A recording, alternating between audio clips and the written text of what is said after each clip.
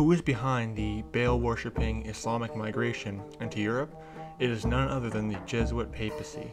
The Jesuit trained Pope Francis has been one of the loudest voices for Islamic immigration into Europe. This goes back to the founding and start of Islam, because Rome is the mom of Islam. Islam was started by Augustinian Catholic monks in the 7th century, and Islam was created to persecute the North African Christians and Middle Eastern Christians that didn't accept the pagan cult that is the Roman Catholic Church. Today, not much has changed. The Catholic Church and the Jesuit papacy are the loudest voices supporting the Baal worshipping Muslim migration into Europe. As stated earlier, the Jesuit Pope Francis has been the loudest voice in the history of the Catholic Church supporting mass Islamic migration into white European countries.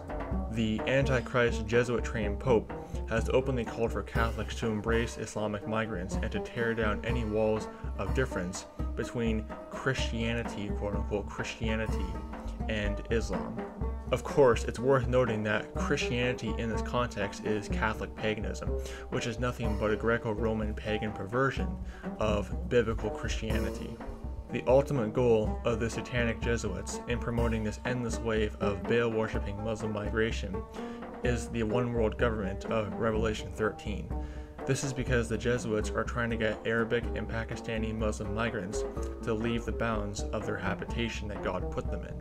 So it goes back to the beginning question Who is behind the mass Baal worshipping Muslim migration into Europe? None other than the Mystery of Babylon Roman Catholic Church, condemned in Revelation 17 and Revelation 18.